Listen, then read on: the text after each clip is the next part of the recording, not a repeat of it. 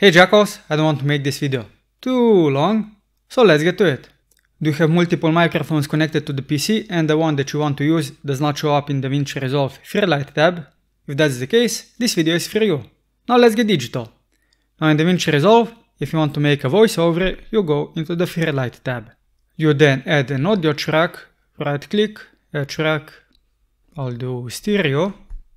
Here you'll get a new track, you can define the input and as you can see the audio input I can have a microphone and in this case a webcam.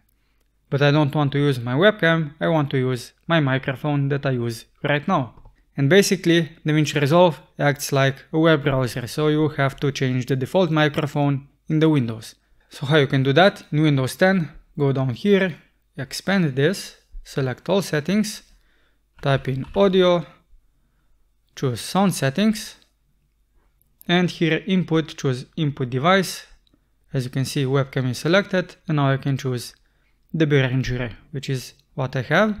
So you can access it like this and the other one is to right click on the speaker icon volume mixer click on system sounds and then go to the recording and right click on the device that you want and set it to default. So I can set the default back to the webcam or to this one. So now that I've set it to this one, I can go back to the inputs, select input, as you can see the Behringer is now selected, so I can click on it, select left and right channel on the audio track and patch it. Then you can simply click on OR to arm it and then when you record you can press record. Now in my case, if I use my headphones, I also hear the sound when I'm recording, so I just mute it so I don't get the feedback loop back to me.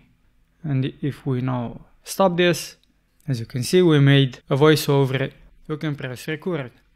Now in my case, if I use my headphones, and that's how you can add the microphone to DaVinci Resolve if you didn't see it. And if you found this video helpful, give it a thumbs up subscribe to my channel and hit the bell notification icon so you don't miss my next video. I'm Simon, and until next time jackalls, keep it digital.